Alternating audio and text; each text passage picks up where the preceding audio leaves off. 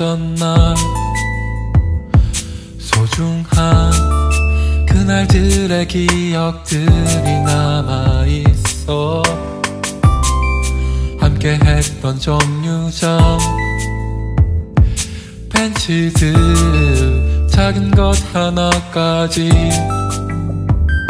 사랑하는 마음 전하며 마주 보았던 날. 노을 하늘같이 바라보던 그날 보내기 싫어서 서 있던 네 집 앞 가로등 손잡고 거닐던 행복했던 그날. I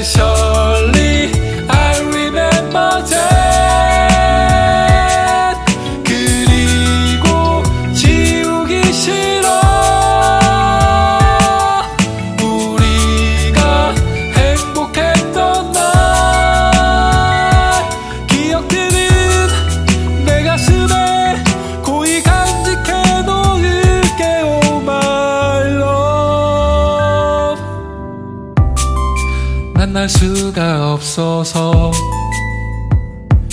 혼자인 그런 날도 물론 기억할 게 있어. 너를 생각하며 편지를 썼던 그날 전해줬던 그날도